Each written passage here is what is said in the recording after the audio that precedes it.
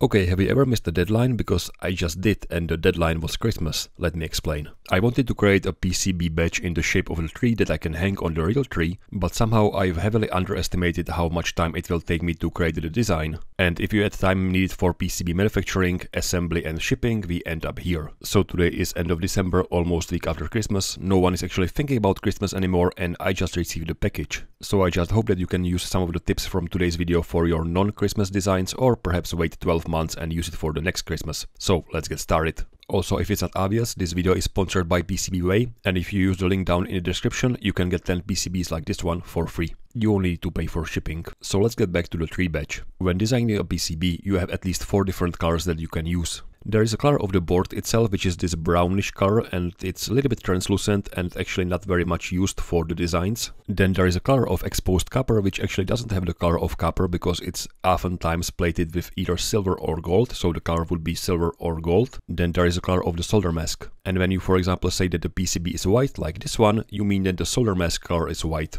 and that's because the solder mask usually covers most parts of the PCB. For the solder mask you can choose from quite a lot of different colors and here are a few examples. The common colors are black, white and green but you can for example choose to use uh, pink or maybe blue, depends on your case. This one is transparent so you can see the color of the board. Then there is a silk screen layer which in this case is black but for example for this green board it's white. You can use other colors than just black and white but it will cost you more money so you'll stick with the default ones. There is one more color that you can use and that is if you don't use the copper layer but still use the solder mask and it's very visible around those traces so there is no copper around those traces and there is a solder mask still being applied so you can see that the color is a little bit darker green. However with the white solder mask you don't see the color change that much actually it's almost invisible so this effect depends quite a lot of how much opaque or how much transparent is the solder mask. Now we've already seen how my tree looks like but when I was thinking about the design I wanted something to have very complex shapes where a lot of different different traces on the board, but mainly to serve some kind of artistic purpose, not being functional but looking nice, basically. So here's one example where the traces looks like a circle, or here's another one where the traces actually looks like a tree. So this was actually my starting point. I wanted the tree to be in the shape of the Christmas tree, but at the same time being filled with all those branches, at the same time resembling and acting like individual traces. However, drawing this by hand in KiCad would probably take me too much time, so I've decided to use another tool, and that one is called Houdini. And Houdini is fully procedural node-based 3D tool, and hopefully we can use some of the built-in algorithms to simulate the PCB-like structures. As a starting point, I will create a grid, and on this grid I want to actually define two different points. So the first point will be a start point, and that might be some point on the bottom of the grid that I will select right now and actually name this group to be the start point. And in the same way, I will create a second group, which I will call the end and select one of the other points, for example, the one in the top right corner. And that's this one. Then I can use the node called find shortest path to find the shortest path between the start point and the end point. And while some path was found, it looks nothing like the final PCB, so let's just try to fix it. As a first step, we don't want to have just one path, we want to have as many paths as possible. So instead of defining one endpoint, I will actually define all the points to be endpoint. And in the find shortest path, I will change the output to be from any start to each end. And now every point on the grid is being connected to the start point. I also want to have some diagonal lines, so I will add the node called connect adjacent pieces. I will edit before I define any group and inside here I will select connect points and increase the search radius until I see those diagonal lines appearing like so. Now when I switch to last node, you will see that we have a shape that kind of resembles a tree, right? We just need to put it inside the tree shape and maybe have more branches and that's exactly what I did. I've actually created a second grid and distorted it in the shape of the tree, like so. And then for the first grid, I just put much more points and created an intersection between those two groups and deleted the points that were not part of the original tree shape. So I end up with something like this. I've used the same connect adjacent pieces to get those diagonal lines and then define the points. So the start points are actually few of the points down there, down in the bottom of the tree shape. And the end points are all the other points. And then I've used the find shortest path to create something like this. If I hide the points, you can can see it better. That looks something like a tree, but hopefully at the same time looks a little bit like a traces on the PCB. But it still looks very simple and you don't need the simulation to draw diagonal lines, right? Thankfully there is a way how to tweak how the find shortest path looks like, and that is by adding the point cost attribute. And you can imagine it like crossing each point will cost you some money, so you want to avoid the expensive ones and only go for the cheap ones. And that's exactly what's happening. So as a first step, we will actually add the cost attribute, and I will just randomize it. So I'll add a new cost attribute and set it to be random, so it looks like this, just the random values going from 0 to 1. If I select the find shortest path and enable the point cost attribute, you can see that now the branches are very randomized, and it actually looks more like a tree now, but it's very chaotic. So instead of actually randomly setting the cost attribute, we can manually set it or maybe perhaps paint it.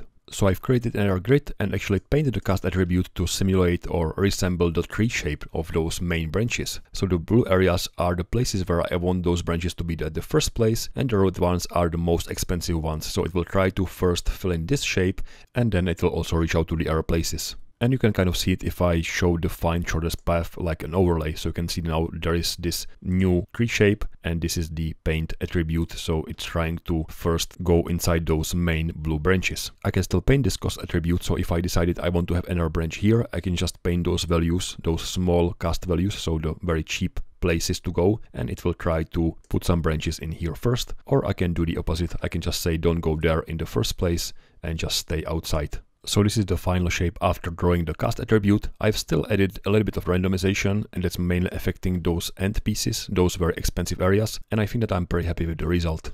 By the way, if you add the carve node, you can actually animate the growing of the tree, which I think looks pretty nice. Something like this. I've also noticed that adding the resample node will make it look more like a real tree, but less like PCB, so I haven't used this version. However, I wanted to have a hole on the top of the tree and I didn't want the traces to intersect with the hole, so I created a very small sphere and just removed those points from the final shape, which means that now on top of the tree there are no traces. In the very similar way, I've also marked the places where the 6 LEDs will be most likely placed and the battery holder and removed those points as well, so this was actually the final shape of the tree. If you are wondering how do I know the size of the battery holder and the LEDs, I've actually taken a snapshot from KiCad and then of course measured it inside Houdini.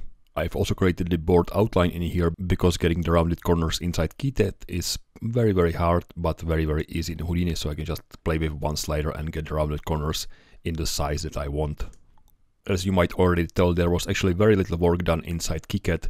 The schematics is as simple as it could be. There is just one battery cell and six LEDs, no resistors whatsoever. I just googled if I can use the battery cell without resistors and I think that the common answer was yeah, just do it. Later on I've added this connector because I wasn't able to get the battery cell holder in time. It would add a few more days for the PCB assembly, so I've decided to not go with the battery cell holder and instead just put in those two pins for now. The PCB is quite different for the front side versus back side. So on the front side, I've imported those traces from Houdini and then added this zone so it's filling the outside areas of the copper. And the copper is actually exposed only for the places where there should be the some soldering or where there should be a connection. So it's only visible for the battery holder and for the individual LEDs. Otherwise, the front solder mask is covering all the copper, but since the solder mask is slightly transparent, you should still see the traces. And it took me a while to realize that inside the 3D viewer, you can actually go to preferences, go to preferences, and for the individual colors you can lower the opacity, which is this slider. By default I think it's set to 100% so you wouldn't see those individual traces, but that's not how the final PCB looks like. On the back side of the board, the copper layer is actually filling the whole area of the board, but the drawings from Houdini is being imported into the mask. So where there is a mask, the copper layers is actually being exposed, and if I open the 3D viewer, you should see that the traces are very visible, being gold.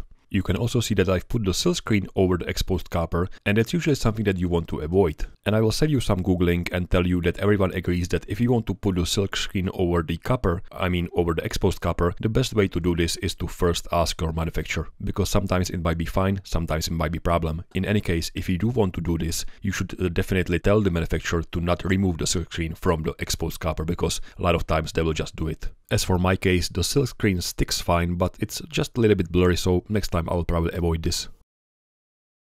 Speaking of silk screen, I wanted to break the uniformity of the geometric shapes by having something written by hand, so I've taken my favorite brush pen and just put it on the paper, scan it and then put it back into KiCad. And for that there is this image converter utility. The important part is to set the correct dimensions and of course if wherever you want to import it as a solder mask or silk screen. You only have option for front but once you copy this into clipboard and paste it in KiCad you can then open the properties and set it to the back layer if you want to. I really like how the badge turned out. I especially like the front side where the individual traces are hidden behind the solder mask and they are like semi-visible. Again, there is no battery holder for now because that would add 10 more days for the PCB assembly and I didn't have 10 more days, I was actually 5 days behind. Also here is a badge from PCBWay. You can see the LEDs are changing colors, blinking and doing all sorts of rainbow stuff. I really like how it looks like. It also has a switch and of course a battery holder. And that's it for today's video. If you have any questions, please put those down in the comment section. And I promise that the next time I will try to come up with a Christmas design before Christmas. Thank you for watching and I hope to see you soon. Thanks and bye.